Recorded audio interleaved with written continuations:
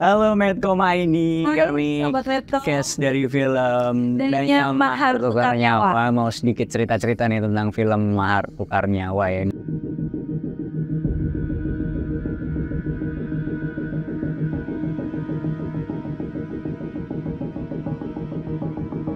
Kalau karakter sih dari Galang sendiri, Galang tuh sebenarnya karakter yang mewakili orang yang cintanya itu tidak direstui sama keluarga pasangannya. Nah, jadi eh, karena konflik itu gal mengharuskan Galang untuk mengambil suatu keputusan di mana dia harus apa ya bahasanya pesugihan. Mungkin teman-teman sering dengar ya pesugihan itu. Nah, di film ini akan dijelaskan secara detail pesugihan itu seperti apa dan apa akibat dari pesugihan itu sendiri gitu sih. Kalau aku sendiri Resti itu adalah seorang anak kepala desa yang makanya tadi sempat Bisma jelasin sebagai galang restunya itu memang gak disetujuin oleh kedua orang tua aku karena eh, perbedaan status ekonomi. Jadi makanya eh, ada banget alasan-alasannya kenapa Resti ini sebenarnya emang anak yang nurut sama kedua orang tuanya tapi bisa berani pacaran backstreet sama Mas Galang terus bisa bertahan sama Mas Galang memang juga ngelihat dari perjuangannya seorang Mas Galang gitu yang akhirnya sampai Mas Galangnya kepentok ngambil jalan sesuatu yang instan tadi. Danyang. Sebenarnya aku sebagai pemain saat pertama kali baca skenario pun aku nggak tahu ya Danyang itu apa. Maka dari itu eh, film itu itu film ini menjelaskan seperti apa sih hantu Danyang itu. Kalau detailnya mungkin aku nggak bisa cerita secara detail. Cuman umumnya eh, hantu Danyang ini kayak sesosok apa ya penjaga suatu wilayah atau suatu tempat yang disakralkan biasanya. Jadi dulunya itu tuh dia itu seorang manusia sebenarnya yang menuntut ilmu yang kemudian menjadi suatu sesosok penjaga suatu wilayah yang di apa ya Sakral. yang sakral yang dihormati oleh warga sekitar biasanya. Nah biasanya warga sekitar tuh em, meminta apa ya seperti melakukan selamatan atau acara-acara gitu supaya meminta kelancaran biasanya untuk panen atau apa. Cuman di film ini itu mengarah ke manusianya. Manusianya kadang meminta sesuatu yang sebenarnya apa ya bukan seharusnya diminta ke danyang ini tapi sebenarnya dalam praktek umumnya masyarakat pun melakukan itu jadi konflik yang mau diangkat itu saat masyarakat menyalahgunakan danyang ini untuk meminta yang lain atau yang mereka kehendaki secara instan Jadi sebenarnya Danyang tuh juga bukan yang jahat atau ya sifatnya negatif. Sebenarnya sifatnya netral tapi karena manusianya mungkin ada yang terlalu serakah dan gak bisa memenuhi tumbal yang diminta sama Danyang. Jadi akhirnya bisa bersifat negatif. Iya. Yang bikin aku happy sih pertama eh, dengan ceritanya ya yang ringan terus udah gitu dekat dengan masyarakat juga yang emang pesugihan tuh ada di Indonesia tuh dekat banget. Ada dari dulu sampai sekarang. Terus udah gitu yang happy juga susunan para castnya.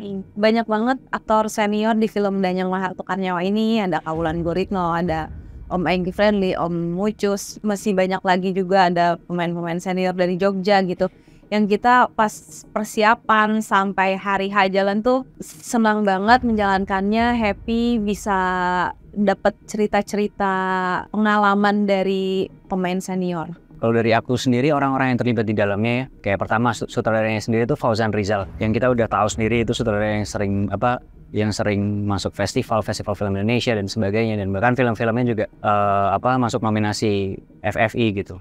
Terus eh, orang-orang yang terlibatnya juga eh, dari make up juga Cherry yang memang juga orang-orang festival dan eh, aktor-aktornya juga tadi yang ceritain Sahila, ada Mbak Wulan Guritno, ada Matias Mucus, Egi Fetli. Terus ini merupakan film horor pertama waktu itu mas, jadi kayak ah kapan lagi terlibat sama orang-orang yang keren kayak gini kan. Dan ternyata benar saat eksekusi filmnya pun banyak hal-hal baru yang nggak aku dapat di genre-genre sebelumnya kayak so mama kayak ada adegan set apa eh, sakral yang kayak eh, ritual segala macam. Ternyata saat dikerjakan dengan orang-orang yang benar-benar apa ya diakui kom, apa eh, kompetennya apa eh, skillnya dalam hal ini, mereka tuh bikinnya pertama. Itu ada adegan di mana setnya itu di bawah pohon beringin. Kita take-nya malam buat horor kan jam satu malam. Dan sosok Danyang yang dikerjain sama yang dibuat sama Mas Cherry ini bener-bener serem. Bikin lo takut ya? Iya, jadi gua enggak di bawah pohon malam-malam malam teh itu cuman sama kameramen doang. Itu serem dan kami benar-benar mengajak penonton untuk merasakan dimensi itu seperti apa sih pesugihan itu realnya. Kan kita sering dengar ya pesugihan tuh kayak gini kayak gini dan ini benar-benar pingin ngajak penonton mengalami hal yang sama. Tapi juga mengingatkan penonton apa efeknya setelah melakukan hal-hal tersebut. Mengingatkan sih jatuhnya nggak ngajari.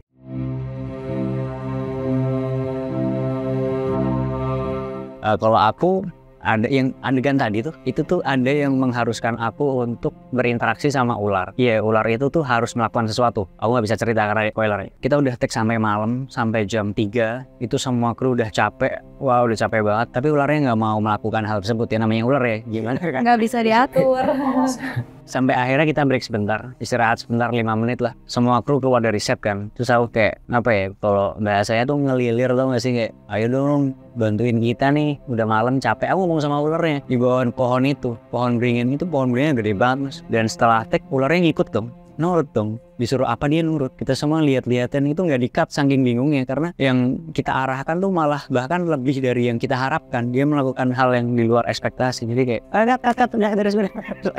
itu sih salah satu yang aku alamin. Kalau Sahil, aku ada cerita jadi memang pas lagi syuting ini ada satu hari aku nggak ada scene tapi aku memang ada di sekitaran lokasi akhirnya ada ide lah dari pemain kayak eh yuk kita main ke tempat wisata di sini tempat wisata sejarah gitu. Oke lah aku main jadinya tuh seharian di tempat wisata itu.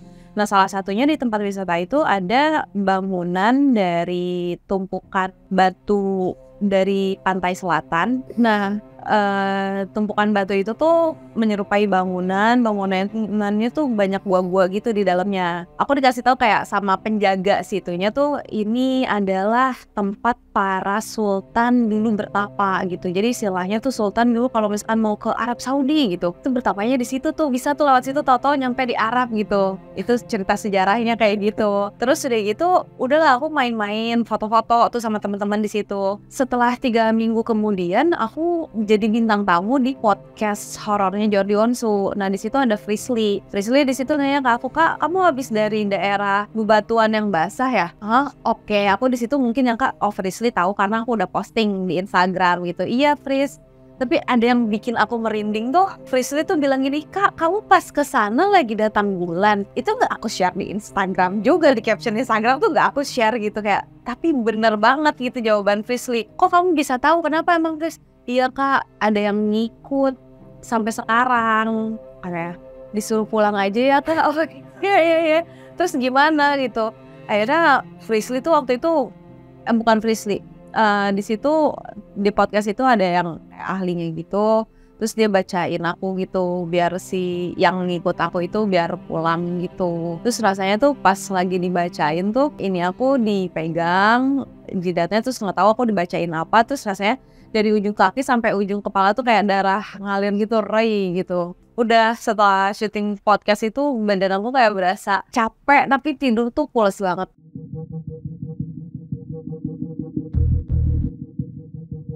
Oh percaya kalau eh, kaya rayanya langsung aku aku nggak tahu. Tapi kalau mereka yang me- melakukan itu, itu benar-benar ada mas. Karena kita waktu eh, promo pun ada yang beberapa case hadir ke lokasi-lokasi itu tempat pesugihan itu ada Emang kayak banyak. bukti foto yang ditaruh di pesugihan terus gitu-gitu. sebenarnya kalau orang yang gue kenal sih nggak ada cuman ya itu dari pengalaman temen dekat aku emang yang suka bikin podcast kayak gitu sempat mengunjungi beberapa tempat-tempat gitu memang yang datang ke sana tuh malah bukan orang Indonesia aja gitu tapi ada kayak dari Jepang Korea gitu-gitu tuh emang meminta untuk kemakmuran dan segala macam dan yang datang ke sana tuh dengan mobil spektakuler dengan jam tangan wow jam tangan luar biasa gitu. Itu mereka minta ke sana.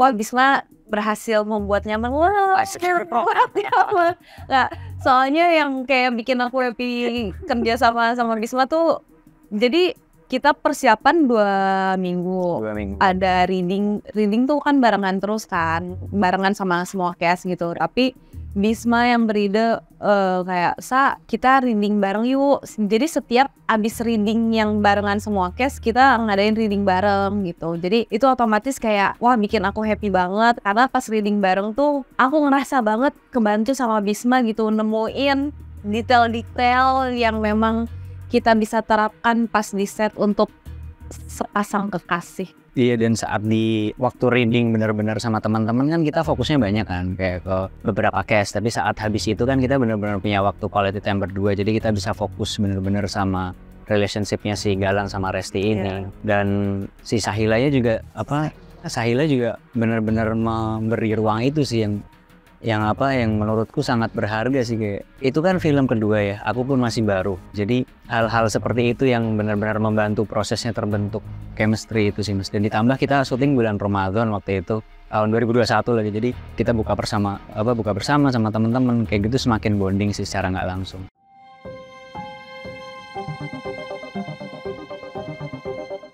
Aku tuh awalnya nervous sih jujur. Lagi ketemu Kaulan itu kayak wah jutek nih. Itu kayak ada takut gitu. Kalau sama Om Mucus Om yang gitu udah pernah ketemu sebelumnya. Tapi ternyata menyenangkan banget gitu. Maksudnya nggak seperti yang kayak di awal wah jutek apa segala macam gitu. Enggak gitu. Orangnya asik. Terus udah gitu diajak diskusi juga enak gitu. Malah kalau misalkan kayak aku nanya eh kakak gimana kak ceritanya? Misalkan syuting judul ini. Kalau enggak apa lagi ngerjain apa kak? Gitu-gitu tuh kayak ya udah ngobrol kayak teman gitu. Jadi uh, nggak ada ketegangan alhamdulillah gitu. Jadi kita pun juga bisa eksplornya tuh bisa lebih nyaman gitu. Iya grogi sih pasti ya kayak waktu pertama-pertama uh, pasti ada rasa grogi kerja sama sama mereka. Tapi aku pikir kayak ini tuh proses turunnya ilmu. Kita kan beda generasi dan beda produksi kan pasti zaman dulu itu generasi apa produksinya seperti apa dan sekarang produksinya seperti apa. Tapi ada hal-hal penting yang nggak bisa kita pelajari dari uh, literatur atau dari orang kan. Pasti maksudnya tidak dari lingkungan kerja kan, tapi dari yang uh, yang dibawa sama senior-senior itu kan. Jadi benar-benar belajar banyak dan benar-benar support sih. Mereka tuh nggak mengajari yang kayak harusnya gini harusnya gini. Nggak kalau pamannya saat terjadi proses tuh benar-benar mereka mempersilahkan kita. Tapi saat kita tanya om enaknya gimana sih mbak? Fulan enaknya gimana sih? Pasti mereka dengan senang hati menjelaskan membantu. Itu itu udah pasti. Jadi yang tadinya awalnya deg-degan dan tegang jadi suasananya cair. Benar-benar cair kayak keluarga kedua gitu di lokasi syuting tuh